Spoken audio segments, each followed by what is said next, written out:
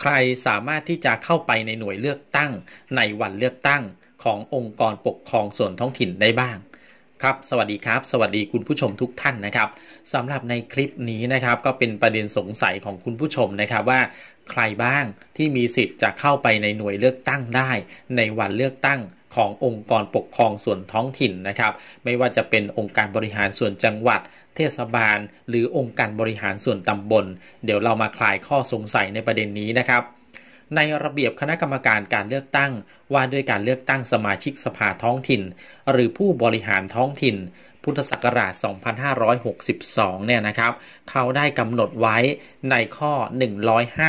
155 ในระหว่างเวลาเปิดการออกเสียงลงคะแนนจะให้ผู้ใดเข้าไปในที่เลือกตั้งไม่ได้ เว้นแต่ผู้มีหน้าที่ในการเลือกตั้ง และผู้ที่เข้าไปเพื่อใช้สิทธิ์เลือกตั้ง โดยเฉพาะบริเวณที่ตั้งคูหาลงคะแนน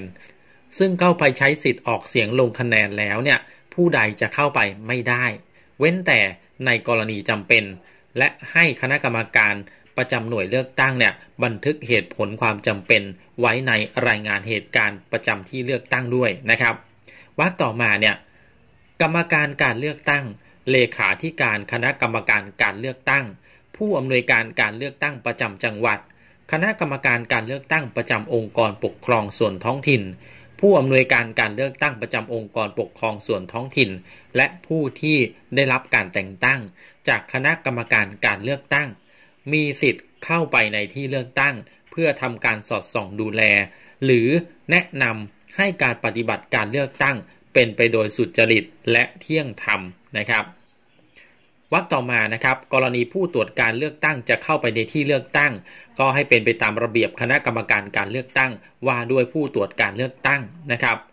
ให้คณะกรรมการประจำหน่วยเลือกตั้งเนี่ยบันทึกการเข้าไปในที่เลือกตั้งของบุคคลตามวรรคสองและวรรคสามไว้ในรายงานเหตุการณ์ประจำที่เลือกตั้งด้วยนะครับ เพราะฉะนั้นเนี่ยกฎหมายเขากำหนดไว้นะครับว่ากรรมการการเลือกตั้ง นะครับเลขาธิการคณะกรรมการการเลือกตั้งผออการเลือกตั้งประจำจังหวัด คณะกรรมการการเลือกตั้งประจำท้องถิ่นผออกกตท้องถิ่น